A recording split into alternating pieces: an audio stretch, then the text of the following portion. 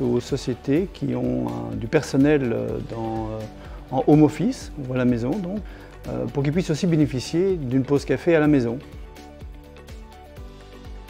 Alors en fait, il y a du choix.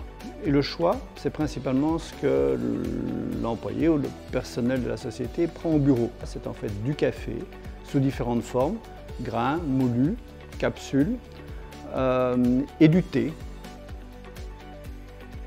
Euh, certains employés n'ont plus la pause café au bureau et ça permet facilement de mettre en place une formule où l'employé peut avoir chez lui à la maison son thé préféré qu'il avait au bureau et son café.